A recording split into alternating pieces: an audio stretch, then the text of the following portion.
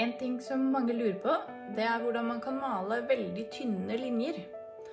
Og den ene tingen man trenger da, det er en sånn her pensel. Det er en strekpensel. Eh, Den har veldig lang bust.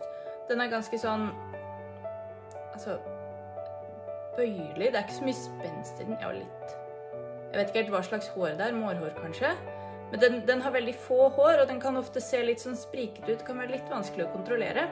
Men den er det som gir de absolutt tynneste linjene. De små penslene med kort bust. Der får du ikke like tynne streker.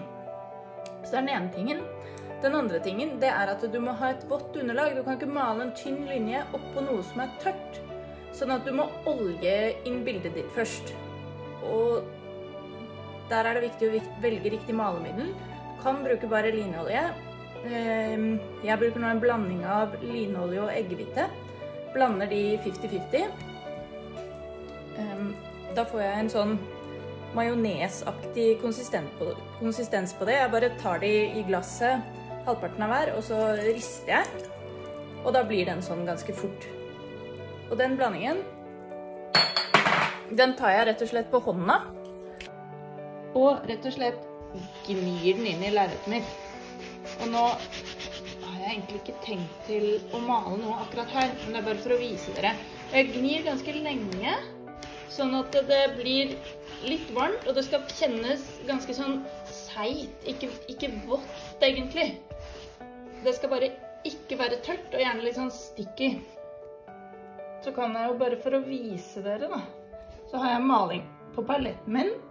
Den er ferdig blandet opp med linolje, litt kritt og denne her eggehvite krittblandingen. Jeg tar strekpenselen og liksom ruller den gjennom malingen min. Nå har jeg relativt mye maling på penselen. Hvis jeg skal male en tynn linje nå, da Da ser dere at da blir den veldig, veldig tynn og veldig presis. Så jeg skal vise dere nå hvordan jeg har malt håret.